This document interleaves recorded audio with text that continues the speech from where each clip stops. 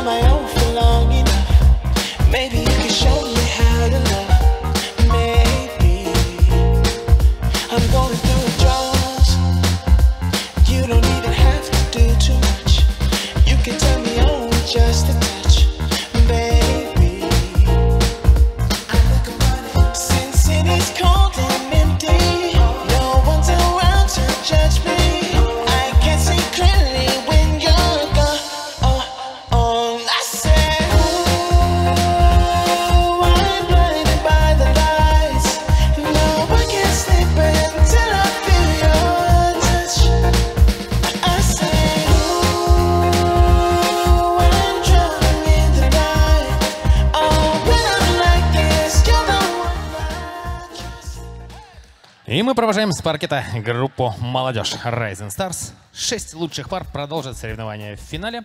Ну а прямо сейчас еще одни полуфинальные соревнования. На этот раз.